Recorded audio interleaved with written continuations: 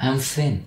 Super thin. Sometimes I feel if I'm not careful and hit somewhere, I'll break myself. I always wanted to be fat. Everywhere I go, everybody points to me that I'm thin. I loathe being thin. I used to think I am thin, they are fat. It is the body's nature. That's the way it is. Then I came across this guy, Einstein. He said E equal to mc squared. I would see a big guy in Subway. He's stuffing his mouth with a big bag of potato chips. Or a large girl walking, devouring even larger cheese sandwich. I understood what the dude said. What you put in is what you see. Mass is neither created nor destroyed. I'm hopeless. I'll never be fat. I can never eat like that.